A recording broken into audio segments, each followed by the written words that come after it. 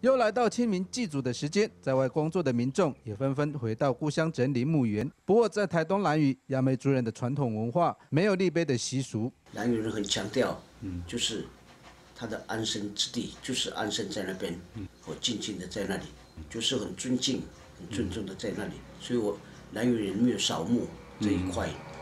族人表示，蓝屿祭祖的时间约在国历十一月份，不是现在国家定的四月份。清明连续假期，蓝雨的学生表示，虽然很高兴放假，但对蓝雨族人没有意义。认为如果可以制定个别族群纪念祖先的日子，会更好。是没有什么意义，因为我们这里没有说什么扫墓的，我们就是都不能接近坟墓，更何况是扫墓。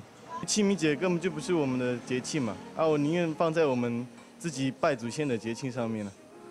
南屿阿美族人至今还维持传统祭祀祖先的方式，不会到安葬祖先的地方追念，而是会准备芋头、肉等物品前往部落的滩头纪念祖先，不到墓地扫墓，要让祖先安静的在被安葬的地方不被打扰。记者夏曼立大顺台东南屿采访报道。